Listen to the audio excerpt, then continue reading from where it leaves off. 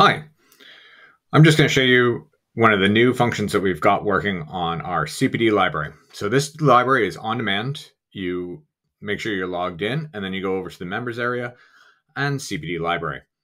Once you come into the CPD library, you have options around different areas um, that we've grouped them together under, like construction, property, and land, um, our most recently added CPDs, and then also um, you can use the search function.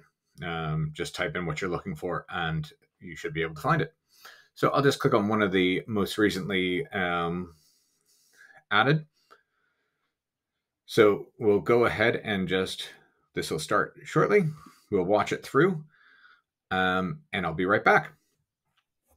Okay, so we've just finished that. And now we can go down and we can log our CPD. So just put in the competencies that relate to it. So on, for this example, we'll be talking about sustainability. This may or may not be a core or optional, um, depending on your particular PG and how it relates to your work.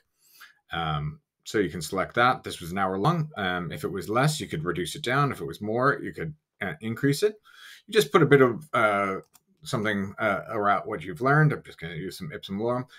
Uh, equally, there's an opportunity there to add your uh, content about uh, ideas that you'd like to see in future CPDs. You hit record, and that's been logged.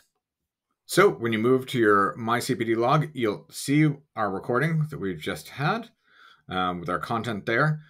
You can go and view it. Uh, if there was any changes you, you need to make, uh, you can see that you got your one hour. It's a sustainability in its core.